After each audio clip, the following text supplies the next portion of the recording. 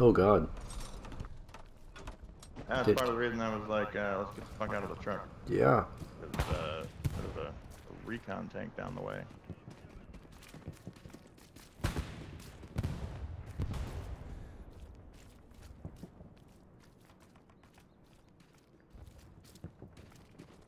Try and stay low.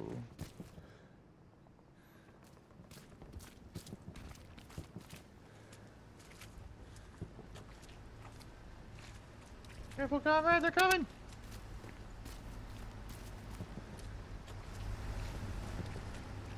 How close was that?